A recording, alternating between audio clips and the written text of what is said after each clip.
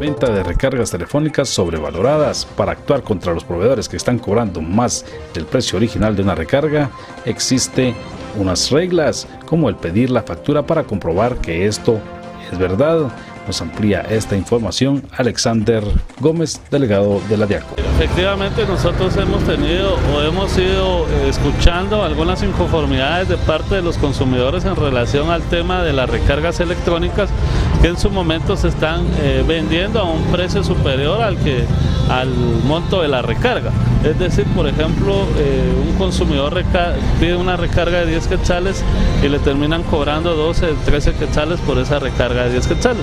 Entonces, eh, la ley tipifica en el código en el código procesal de que esto se puede tomar como especulación de precios y puede ser objeto de una sanción económica de mil a cien mil quetzales o bien de prisión de 1 a 5 años si se llegase a comprobar. Entonces la invitación acá va al consumidor como también al proveedor. Eh, generalmente este tipo de cuestiones se dan únicamente en las tiendas de barrio eh, para que por favor si usted realiza una compra de recarga electrónica exija su factura que es un derecho adquirido y que al mismo tiempo si usted ve que se, se están realizando este tipo de actos anómalos de parte de los proveedores que tenga la, la bondad de colocar la denuncia sea la Superintendencia de Administración Tributaria si no los efectuaran, no les dieran la factura correspondiente o bien en la DIACO para darle el trámite correspondiente que en su momento, como lo repito, puede llevar a una sanción económica eh, tanto de mil quetzales hasta cien mil quetzales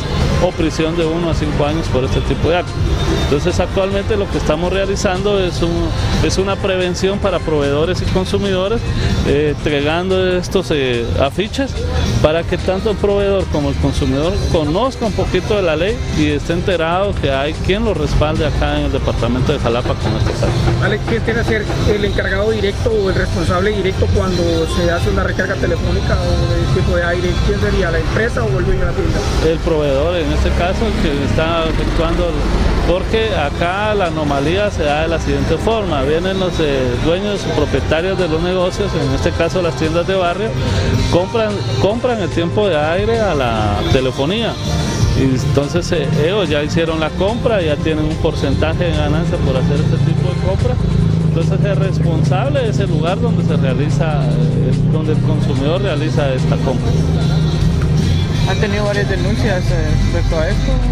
Fíjese que sí hemos tenido denuncias en relación al tema, lo único que como en su momento eh, yo manifestaba es un poco complicado darle seguimiento a una denuncia si no tiene un medio de prueba, en este caso el medio de prueba sería la factura y por eso, por eso es que estamos realizando esta medida de prevención para que la gente conozca que tiene que solicitar su factura para poder actuar nosotros en contra de estos abusadores que están realizando estos cobros para los T21, los Chapines y el mundo, notijalapa.net.